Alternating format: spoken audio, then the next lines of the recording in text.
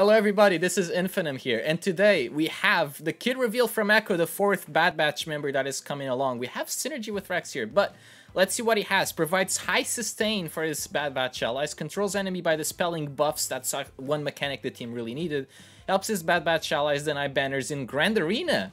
Okay. So, in why Grand Arena specifically? Okay, let's see. So, Bad Batch, support, Clone Trooper, Galactic Republic, Loyal Clone Trooper supports his allies in battle. Basic. Deal physical damage to target enemy. Grants defense up and evasion up for two turns to the weakest Clone Trooper ally who doesn't have them. Oh, this is sick, because now you have a defense up generator that doesn't have only um, Wrecker coming in with it. You have now the, the that from... Uh, from Echo, the defense sub synergizes well with Hunter's Lead, that gives AoE damage. One step ahead. Inflicts buff immunity on target enemy for 2 turns. Inflict expose all enemies for 2 turns. Dispel all debuffs on target other clone trooper ally and call them to assist.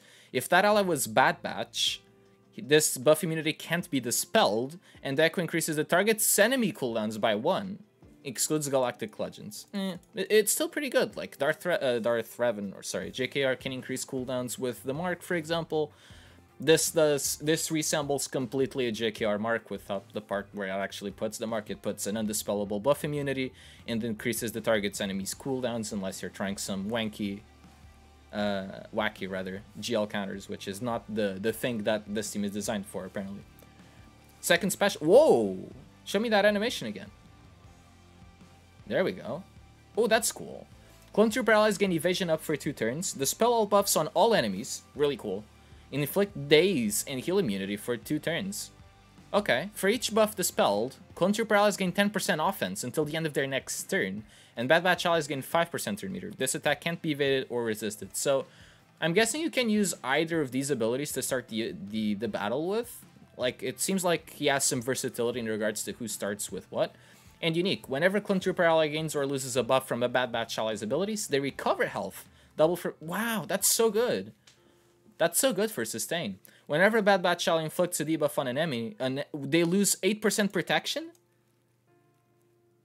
If that enemy had less than 50% protection and more than 50% health, they also lose... What? Wow! By lose, is it like are they losing max protection and max health or is it like doing damage equal to 8% protection and then 8% health? Damn. That's great. Plus the survivability. Plus the defense up that's wow okay. Damn this kit is super strong. I like it.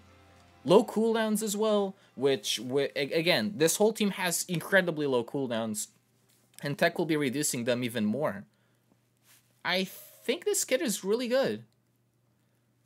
I really like that, like, it, it has all of the key parts, key components of the other, um, of the other Bad Batch. I'm just trying to see how I can an analyze this kit and see how good this is. Target enemies cooldowns.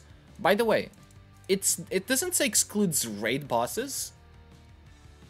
So say could you target the Reek with this and increase the, the AoE's cooldowns so he doesn't do the AoE for another turn?